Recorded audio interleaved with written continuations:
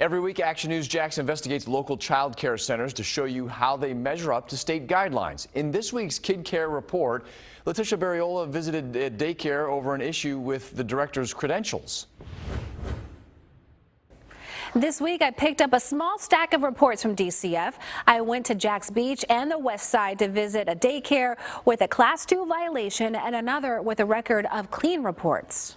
My first stop, Montessori Tide School in Jacksonville Beach. During its recent routine DCF inspection, it was tagged with a Class 2 violation. According to the state, a Class 2 could pose a threat to the health and safety of a child. The inspector noted the director did not have an active director credential. I couldn't access the door because of the gate, so I gave the director, Brad Hutton, a call to hear what he thinks about the violation. Hi, uh, this is Letisha Bereola with Action News Jax. Hutton told me it was because of his director wanting to retire retire in a few years, so he was going through the process of getting his credential. Hutton said when he called DCF and asked about it, they told him it wasn't a big deal and he could have a provisional license for six months. They never mentioned a two, class two violation. They made it sound like it, it was normal.